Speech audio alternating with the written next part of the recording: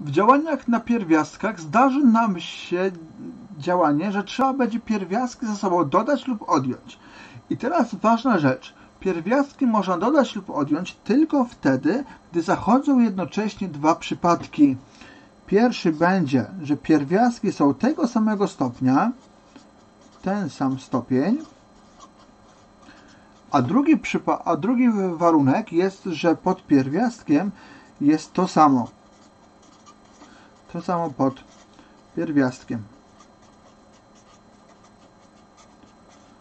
Czyli teraz tak. Spójrzmy na pierwszy przykład. Mamy pierwiastek z 2 plus pierwiastek z 2. Stopień pierwiastka to jest ta liczba, która stoi dokładnie w tym miejscu i w tym miejscu.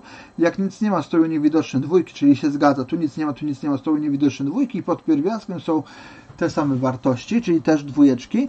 I w tym przypadku doda dodać będziemy dodawać będziemy to, co stoi przed nimi, czyli tutaj jak nic nie ma, stoi niewidoczny 1 i tutaj jak nic nie ma, stoi niewidoczny 1, a 1 plus 1 to jest 2, a pierwiastek bez zmiany się spisuje do wyniku.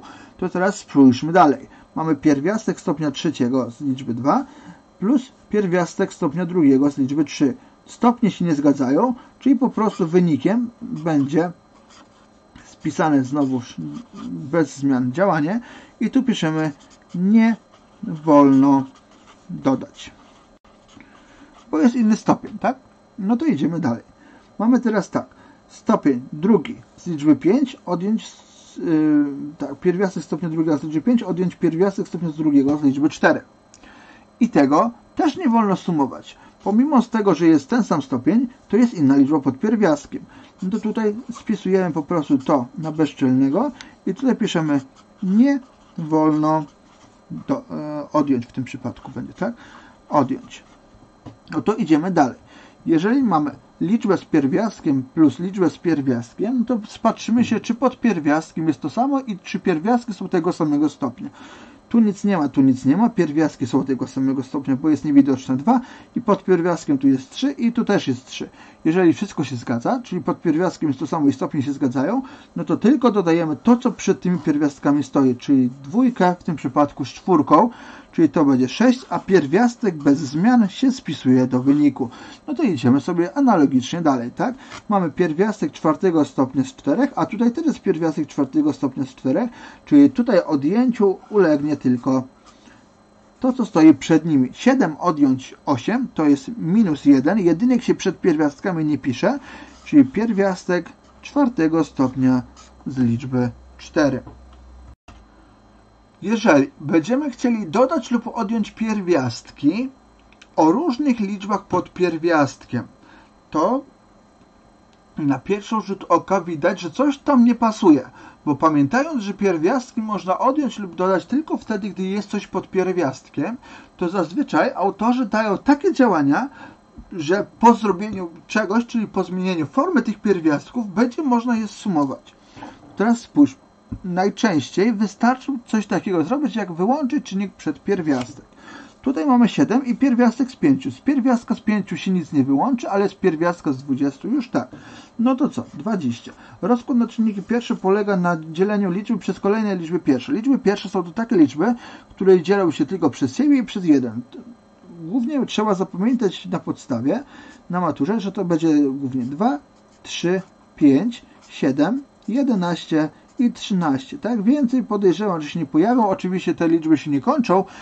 Nawet w liczbach o dużej ilości cyfr się zdarzają liczby pierwsze, czyli takie, które się działy tylko przez siebie i przez jeden. Dobra, mamy parzystą, dzielimy na 2. Zostaje nam 10, tak? Tu piszemy przez co dzielimy, a tu wynik tego dzielenia. 10 znowuż na 2, bo parzysta. Tu jest 5, piątka się dzieje tylko na 5 i zostaje 1. W takim rozkładzie zawsze tutaj musi zostać 1. Teraz patrzymy się na stopień pierwiastka. Był drugi. Ten stopień pierwiastka mówi nam, ile liczb musimy wziąć w jajeczku. Tak? Teraz bierzemy, o ile, oczywiście tych samych liczb. Tak? Bierzemy jedną z tych liczb, y, wyrzucamy z tego jajeczka i dajemy przed pierwiastek.